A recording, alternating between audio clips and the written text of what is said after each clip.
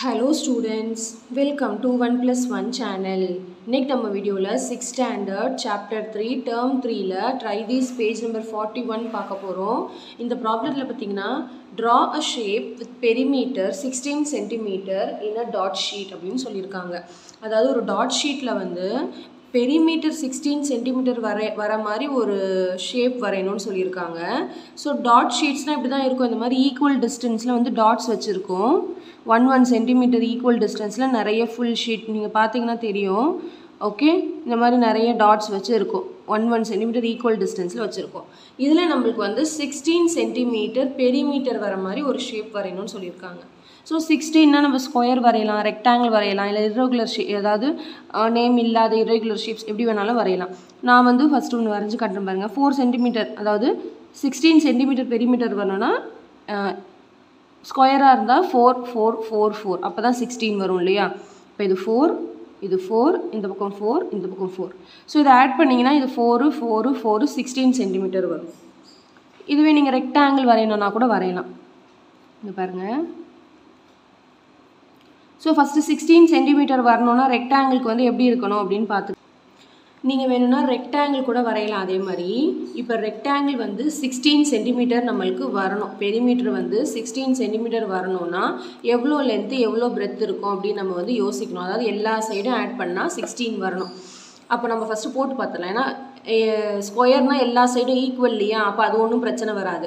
இப்போ ரெக்டாங்கிளுங்கும் போது length breadth டிஃப்ரெண்ட்டாக இருக்கணும். அப்போ எனக்கு நமக்கு என்ன வரணும்னா formula two into L plus B perimeter of the rectangle வந்து two into L plus B பண்ணால் சிக்ஸ்டீன் வரணும். இப்போ இந்த டூ அந்த கொண்டு போயிட்டா L plus B equal to sixteen by two வரும் எயிட் சென்டிமீட்டர் அதாவது எல்லையும் பியும் ஆட் பண்ணால் எயிட் வரணும். இப்போ நம்ம எப்படி எடுத்துக்கலாம்? லென்த்து சிக்ஸ் எடுத்துக்கலாம் பிரெத்து டூ எடுத்துக்கலாம். இது ரெண்டுத்தையும் ஆட் பண்ணால் எயிட் வரும்ல. ஸோ இந்த மாதிரி காம்பினேஷனில் எடுத்துக்கிட்டிங்கனாலே உங்களுக்கு பெரிமீட்டர் வந்து சிக்ஸ்டீன் சென்டிமீட்டர் வரும்னு அர்த்தம்.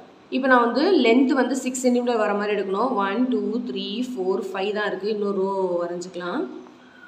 ஸோ லென்த்து சிக்ஸு பிரெத்து வந்து டூ தான் வரணும். டூ சென்டிமீட்டர் ஸோ அதே மாதிரி வரைஞ்சிங்கன்னா உங்களுக்கு அழகாக வரும். சரிங்களா? ஸோ இது நீங்கள் ஆட் பண்ணிங்கன்னா உங்களுக்கு என்ன வரும்?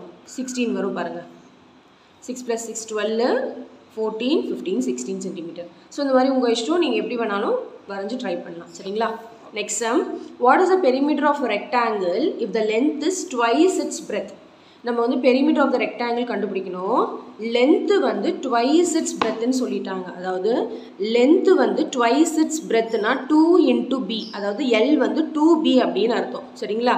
இப்போ நம்ம பெரிமீட்டர் ஆஃப் த ரெக்டாங்கிள் வந்து எப்படி இருக்கும்? எல்லுக்கு பதிலாக டூ பின்னு எடுத்துட்டேன்னா பெரிமீட்டர் ஆஃப் த ரெக்டாங்கிள் வந்து எப்படி இருக்கும் அப்படின்னு கேட்குறாங்க சரிங்களா?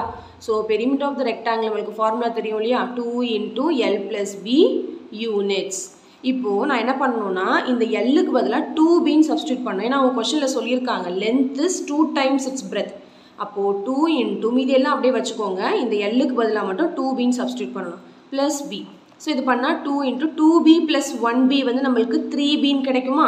த்ரீ பி அப்போ இதை மல்டிப்ளை பண்ணால் சிக்ஸ் பி ஸோ இப்போ நான் எல் லென்த்து வந்து டூ டைம்ஸ் இட்ஸ் பிரெத்தாக எடுத்தால் எனக்கு பெரிமீட்டர் ஆஃப் த ரெக்டாங்கிள் வந்து சிக்ஸ் பி அப்படின்னு கிடைக்கும்.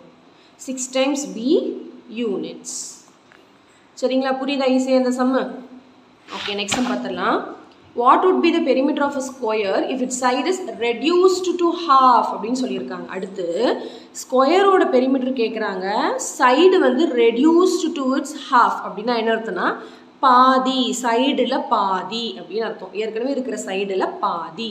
அதாவது எஸ் பை டூ அப்படின்னு அர்த்தம். சரிங்களா? இப்போது நான் பெரிமீட்டர் ஆஃப் அ ஸ்கொயர் கண்டுபிடிக்கணும். So perimeter of square formula தெரியும் இல்லையா? பெரிமீட்டர் ஆஃப் ஸ்கொயர் வந்து ஃபோர் இன்டூ சைடு இப்போ இந்த சைடுக்கு பதிலாக நான் என்ன சப்ஸ்டியூட் பண்ணணும்னா எஸ் பை டூ முன்னாடிலாம் நம்ம எஸ்ன்னு சப்ஸ்டியூட் பண்ணுவோம் இல்லையா? சைடு ஆஃப் த ஸ்கொயர் வந்து எஸ்ன்னு சப்ஸ்டியூட் பண்ணுவோம். இப்போ நம்ம வந்து எஸ் பை டூன்னு வச்சுருக்கோனே அதை சப்ஸ்டியூட் பண்ணணும். அப்போ ஃபோர் இன்டூ இதுக்கு பதிலாக எஸ் பை டூ சப்ஸ்டியூட் பண்ணணும். இப்போ நம்ம எப்பயும் போல் கேன்சலேஷன் இங்கே பை ஒன் இருக்குன்னு அர்த்தம் இல்லையா? இப்போ கேன்சலேஷன் மல்டிப்ளிகேஷனில் கேன்சலேஷன் பண்ணலாம். Two ones are two two two are four so மீதி என்ன இருக்குன்னா two S two into S two S units so நான் சைடை வந்து பாதியாக எடுத்தேன்னா எனக்கு பெரிமீட்டர் ஆஃப் ஸ்கொயர் வந்து டூ எஸ் அப்படின்னு கிடைக்கும். புரியுதுங்களா? ஈஸி தான் இந்த நம்ம கொஷின் அண்டர்ஸ்டாண்ட் பண்ணிக்கிட்டிங்கன்னா ரொம்ப easy okay next sum what is the perimeter of the triangle if all sides are equal in length அடுத்து வந்து ட்ரையாங்கிள் ட்ரையாங்கிளோட பெரிமீட்டர் கேட்குறாங்க எல்லா சைடுமே ஈக்குவல்னு சொல்லிட்டாங்க. அப்போ சைடை வந்து எல்லா சைடுமே ஈக்குவல்னால் ஒரே ஆல்ஃபபெட் தான் எடுக்கணும் எல்லா சைடுக்கும் அப்போ நான் ஏன்னு எடுத்துக்கிறேன் எல்லா சைடையும் இப்போ பெரிமீட்டர் ஆஃப் த ட்ரையாங்கிள் நம்மளுக்கு தெரியும் இல்லையா? பெரிமீட்டர் ஆஃப் த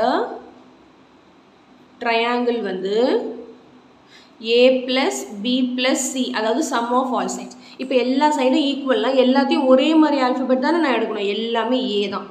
அப்போது A plus one A plus one A plus one A is nothing but three A units இதுதான் பெரிமீட்டர் ஆஃப் த ட்ரையாங்கிள் புரியுதுங்களா? கொஷனில் என்ன சொல்லியிருக்காங்கன்னா பெரிமீட்டர் ஆஃப் ட்ரையாங்கிள் கண்டுபிடிக்கணும். எல்லா சைடும் ஈக்குவல்னு சொல்லிட்டாங்க. அப்போ இது இது- இந்த மாதிரி நீங்கள் ஏபிசி எடுத்திங்கன்னா எல்லா சைடும் டிஃப்ரெண்ட்டுன்னு அர்த்தம்.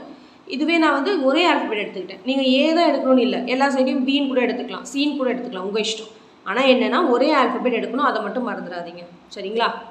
ரொம்ப சிம்பிள் தான் இந்த சம்மு ஸோ கண்டிப்பாக இந்த சம் நல்லா உங்களுக்கு கிளியராக அண்டர்ஸ்டாண்ட் ஆயிருக்கும்னு நினைக்கிறேன். So thank you so much for வாட்சிங் ஸ்டூடெண்ட்ஸ் பாய்